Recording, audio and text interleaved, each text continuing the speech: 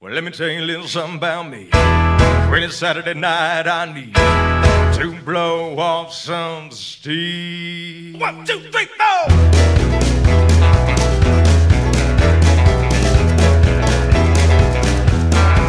Well, I've been holding in since the clock came Monday morning.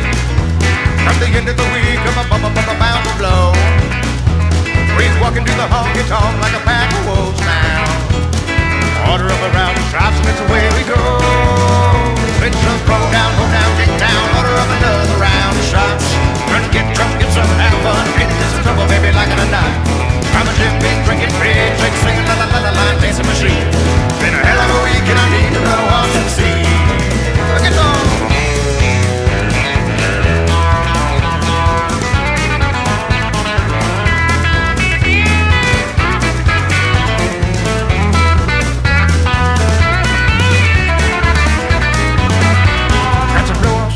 Blow up. I got to blow off some steam for blow up.